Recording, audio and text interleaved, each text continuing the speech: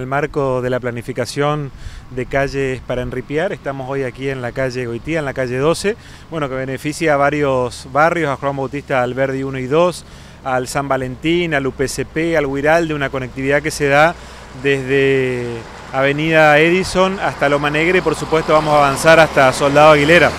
La verdad que bueno, eh, seguimos trabajando, ahora estamos yendo a Villa Pupo, a la zona conocida también por Villa San Martín, en diferentes sectores de la ciudad, avanzando en esta planificación ordenada del municipio y en la planificación también de arreglos de calles, eh, y el perfilado de las mismas. La secretaria